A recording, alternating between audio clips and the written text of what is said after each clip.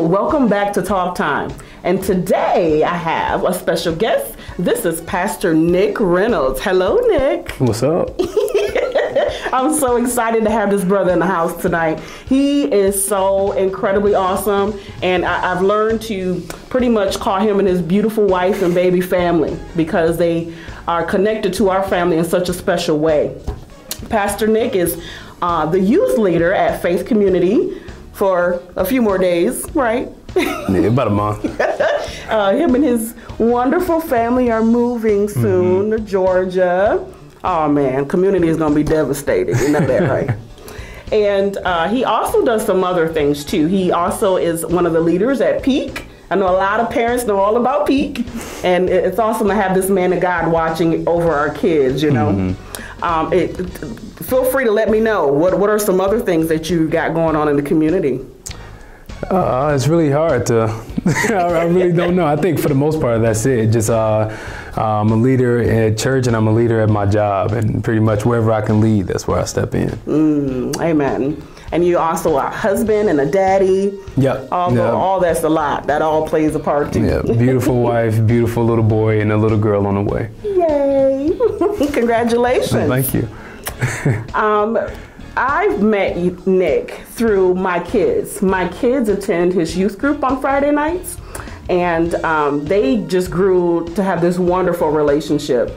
And I didn't even, I, I, fell in love with him and his wife before I even really got to know them. My daughter used to come to me and be like, Mom, Pastor Nick just texted me and said, I'm praying for you uh, for your exams this morning. I mean, before she goes to school. That's an awesome man of God to do those kinds of things. I just, and, and there's many other things that he's done to touch my heart to where I'm just sitting thanking God that he has placed you in silver in my kids' life. I'm telling you, you, you guys truly are a blessing. No, and. Georgia, look out for this man. he's powerful and he, he's coming. and you're, you're going to bless them too. Also, I also want to let everybody know that Nick created the Talk Time logo. Talk Time with Tennia, he did this. And uh, thank you so much um, for blessing me with your work and sharing your gift with me. And he, let me just tell you real quick, I, I really didn't realize how important logos were to a company or a ministry. And he, he really let me know that people will refer to you as your, your logo, so to speak. Um, let me give you an example. McDonald's. Everybody know the arches, right? You as soon as you see mm. that, you instantly think of McDonald's, and that's kind of like with, with, your your personal logo. As soon as they see this, they, they'll think of you, and it has significance to it. Now, Nick not only leads, but he also is an artist. And I think you will see today how his art and, and the gift that he has is significant as well. I can't wait for them to see your stuff. but Nick, tell us, did you start drawing and painting as a child? Uh, I wasn't painting. I actually didn't know I could paint until college. Uh, as far as drawing, um, I remember sitting on the floor of my grandmother's house and just drawing little stick figures and stuff, and then it just kind of grew from there. Mm. And my dad will get on the floor with me, and he would show me how to draw because he was pretty good at that oh. too. Yeah, and um, it, it, got to the point where uh, in elementary school. Um, during conferences, the only class that I would get a good report in was art class. and uh, I remember um, sitting there, and the teacher pulled my mom to the side. She said, "This is what my students are working on," and then she grabbed mine from out of this pile. And she said, "This is what your son is doing." Mm-hmm. She said, "I highly advise that you get him put into an art school." Wow. Yeah, but that never happened. So yeah, I just kind of just learned on my own because our school costs money, and we ain't had. A, I understand. I understand. That's okay. God gonna still take it and use it for something mm. awesome. Which, again, um, how has God been using that gift along your journey? As far as uh, just drawing, mm-hmm. um, nah, honestly, the best way he uses it is that it, it relaxes me. Mm. So like just um, like some some days on my Sabbath, like I'll just I'll paint mm. or I'll just draw. Or honestly, if I'm in the middle of a meeting, I hate meetings. So like uh, I'm just I can't sit still. So if you ever catch me in a meeting, you'll see that I'm drawing the entire time. Yeah. Sometimes I'll draw what the person is saying, and that helps me remember. So mm. I'm a very visual person, and honestly, pictures and drawing is how I learn. Oh wow. Yeah. So like if you try to tell me how to do something, it might not work. But if you show me, I'll learn. Mm. That's awesome.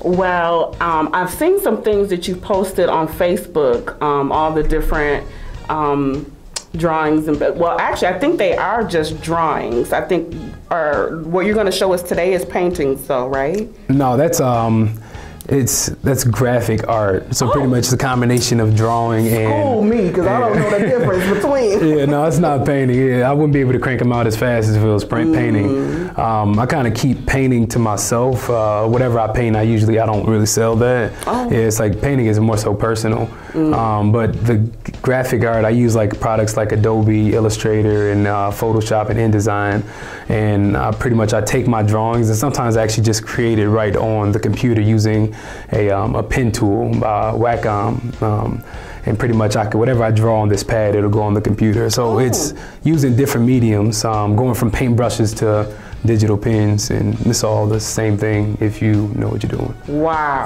Yeah. I, I didn't know that there was all that kind of stuff. Yeah. That's fantastic. Well, let's get to the nitty gritty. I, I, Nick has brought some of his art with him today, and you're going to be blown away by the things that this young man can do. I see you post all the time the different things that you've created, and I'm just like, wow.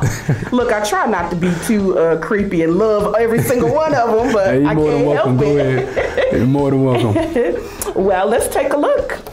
Let's grab some things that you brought for us today, and please explain um, how did you come up with the the scripture and the art. Um, well, it, it actually all started off uh, with uh, it wasn't this one. There was another line. It, it, it actually sold out, so I don't.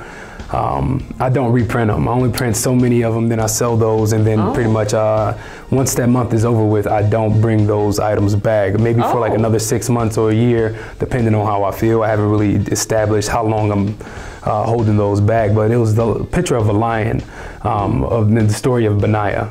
Oh, well, no, it's not this one. Um, yeah, it's the story of Benaiah, and it says, uh, Benaiah is his beautiful son, by the way. yeah, Benaiah is my son. So I actually, ever since he was born, I had this image in my head of what I wanted to make for him so that he would know who he is. And we try to give our children names that mean something and that when they grow up, they can step into the destiny of that name. And Benaiah was a, um, he was a valiant warrior who once chased a lion into a pit on a snowy day and he killed it. Uh, like a chapter later, it says, and King David hired him into his bodyguard.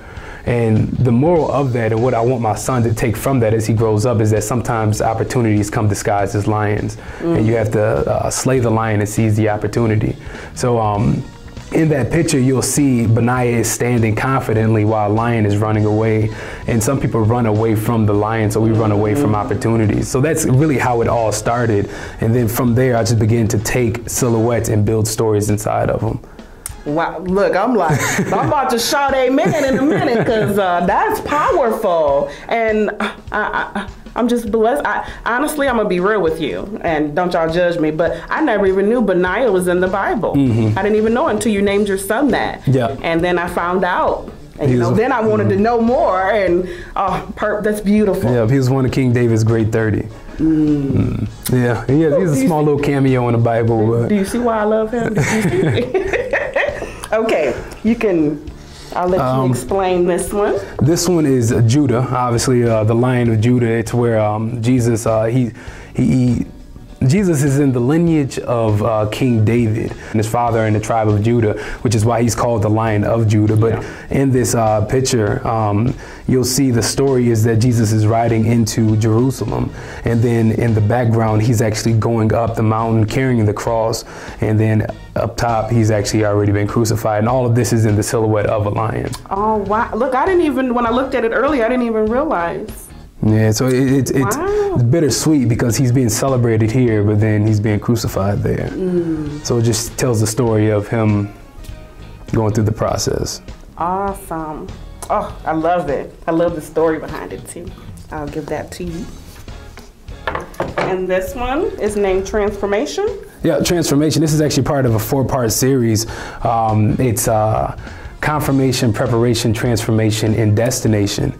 Um, this is the third part, and this whole series is uh, the series is called David, and it's um, it's the process of David from him becoming a shepherd to a king. And, he, and the first part of confirmation, he was already a king to begin with. And the story behind it is just pretty much how do you react when your um, responsibilities are subordinate to your calling. And so here in transformation, um, the, the number in the Bible, the number 40 in the Bible represents transformation. And for 40 days, uh, Goliath stood in the valley of Elah and he taunted Israel. While meanwhile, while David was in the field tending to his responsibilities that was subordinate to his calling. So for 40 days, he was being transformed, uh, fighting off lions and bears.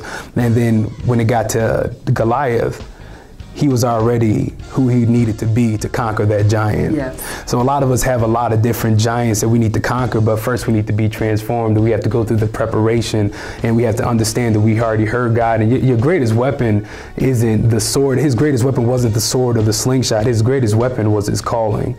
So I imagine him um, going out into the valley of Elah and saying, "My purpose is too great." So if your purpose is too great, then whatever you go against can't conquer you. Yeah, so that, that's actually one of my favorites too of the series.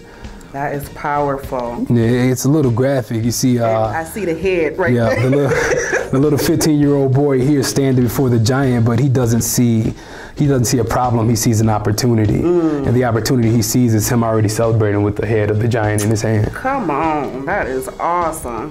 Whew. See, y'all didn't know that y'all was gonna learn all that today, huh? you thought you was gonna look at some simple things. Nope. Okay.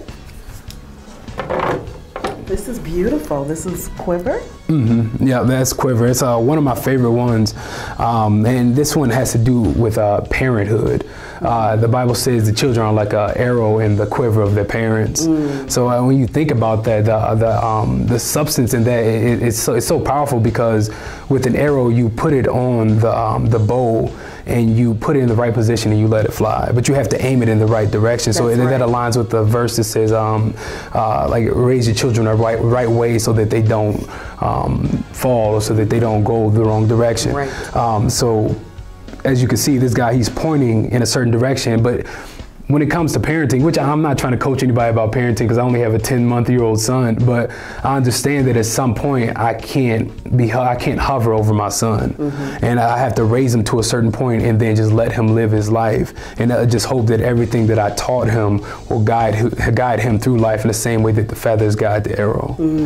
Hey man, that that's the desire for every parent is to want to make sure we're leading and guiding them in the ways of Jesus. And uh, all right, don't get me started. This is wonderful. Thank you, Nick. And I picked this one to show too because I I want to know the the significance of. Uh, this was called The Gift.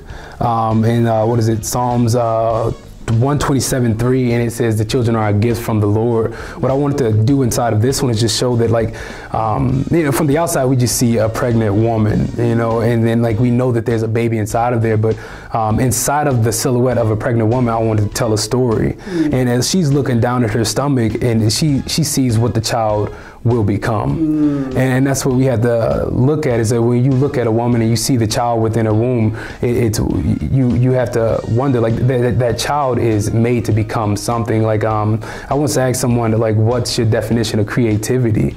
And their response was, "Oh, um, I said, what's the first thing you think about when I say creativity?" And they said, "Oh, pencils, painting, and drawing." And I said, "Okay." I said that, that that's that's being an artist. Uh, because you got to understand creativity. Everyone in this world is creative, and all creativity is when you get to the root of its meaning, it's problem solving. So you think about it, it says God created. Oh, it says um, uh, in the beginning the world was formless and void, and then God created light. You know, he looked at Adam and he said, uh, "Man should not be alone," and then he created Eve. And so all throughout the Bible, whenever there was a problem, God created. And sometimes the problem had just come, but God created a man that's 40 years old or 100 years old to solve that problem. So He knew about the problem before the problem even happened. So the point that I want to make is that the child inside of her womb is created to solve solve a problem. He's created for a reason. Everyone has purpose. Everyone has a destiny. Everyone has something inside of them, and simply she's just waiting for him to become. Wow. Whoa. Woo, that is powerful and beautiful. Uh, my heart is just like, wow. You're, you're blowing me away, man, with how you are so.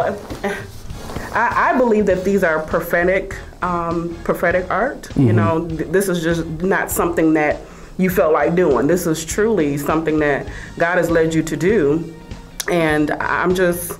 I cannot wait to see more and uh, more of what God will do with you with this. Yeah. And I'm telling you, you have just taught us so much in just this few minutes through your work. I mean, Yeah. he didn't even have to sweat and spit and jump around the church with a microphone. He, he simply he, he just preached to us uh, and taught us, I should say. He just taught us some things and uh, how powerful. I, I'm just like I'm excited. I'm trying to maintain and be professional here, but uh, such a wise young man uh, of God, and this is why I'm so blessed to have him in my girls' life. You want somebody like this in your kids' life, honestly.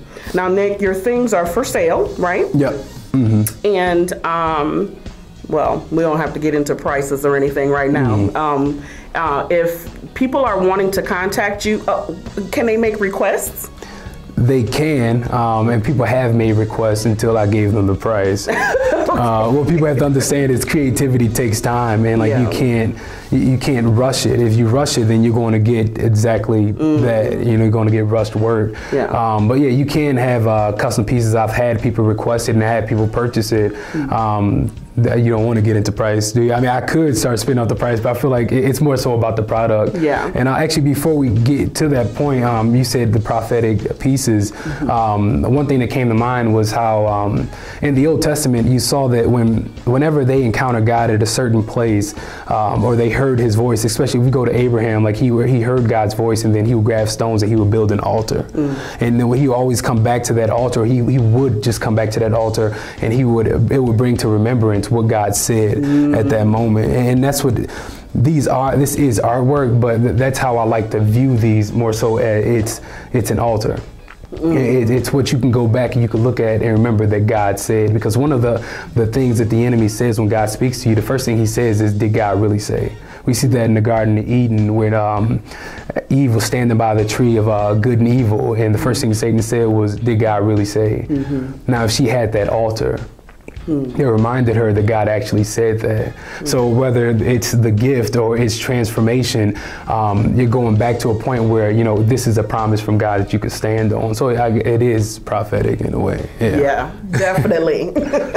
and people are gonna like recognize that right away. Like, oh, this dude has got uh, not only just a gift with you know putting a, a pen or, or your graphics or you know paint or whatever to, to a paper, but no, you have a gift to hear from the Lord and to express that through your art. So Yeah, and it is a, it's an interesting process. There, there are times where God would just drop an idea on me, and I'll just fly with it. But then there are times where the scripture is so complex, um, like um, it was John one one.